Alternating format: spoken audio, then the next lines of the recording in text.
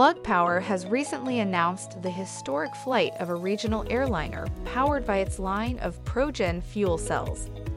Led by Universal Hydrogen, the hydrogen fuel cell powered flying test bed took off at Grant County International Airport in Washington state, marking a significant milestone for both companies. The 40 passenger airplanes reached an altitude of 3,500 feet during the 15 minute flight. The partnership between Plug Power and Universal Hydrogen is expected to revolutionize the aviation industry as the two companies work towards converting a 56 passenger ATR 72 regional aircraft to run on hydrogen.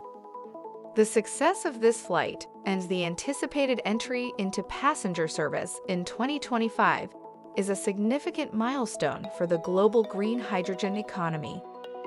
Plug Power CEO Andy Marsh stated, We've long said hydrogen can power applications, such as planes, while reducing toxic carbon emissions. Today, we proved it, and we're one step closer to a more sustainable future.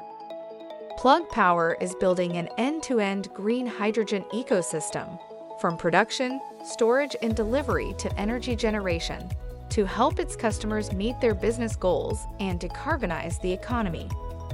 Shares of Plug Power trade on the NASDAQ under the ticker symbol PLUG. For more information, visit greenstocknews.com.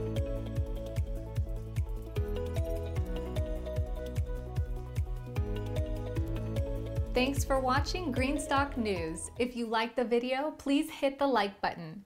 If you want to see daily Green Stock News videos, hit the subscribe button. And if you have something to say, please leave a comment.